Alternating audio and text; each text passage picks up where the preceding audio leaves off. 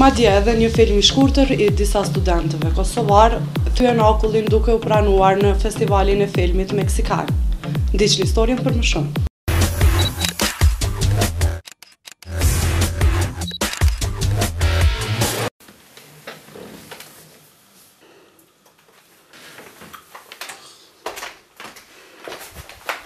Filmi i shkurt Çaj Rusi, nga Arbër Jashari dhe Valmir Tertini, dy studentë të arteve mediale në Shkollën e Lartë Profesionale të Artit Akademia Evolucion, në Prishtinë, është pranuar në Festivalin Ndërkombëtar të Filmit Ekstrem në Verakruz të Meksikës që u mbajt prej datës gjashtëmbëdhjetë deri me njëzet janar dy mijë e trembëdhjetë.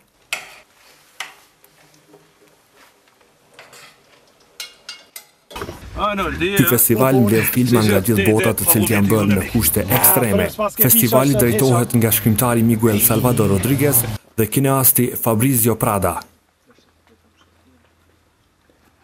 Këtë vit u shfaqën gjashtëdhjetë projeksione kinematografike nga njëzet e gjashtë vende të botës, në mesin e të cilave merr pjesë dhe Kosova me filmin e shkurt Çaj Rusi.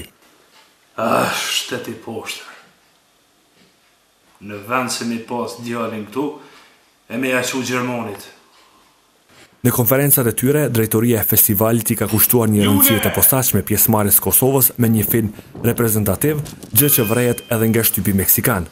Sidoqoftë, pas një gëzimi për pranimin në këtë festival të veçantë, autorët e filmit kanë marrë lajmin se e kanë të pamundur të udhëtojnë në Meksikë pasi që Meksika ende nuk e njeh Republikën e Kosovës si shtet.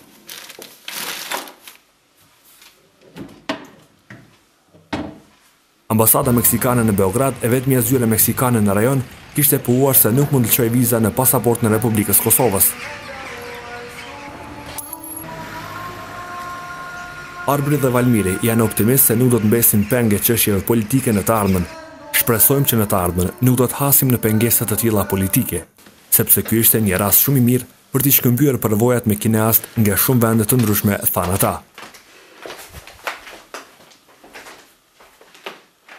Filmi Çaj Rusi është film i shkurtë mbi një njeri të edukuar i cili është detyruar të punojë si taksist dhe provon të tejkalojë problemet e tij ditore përmes çajit, pijes së tij të preferuar. Rolet kryesore në filmin i luajnë aktorët Ilir Hajdari dhe Elizabeth Krasniqi.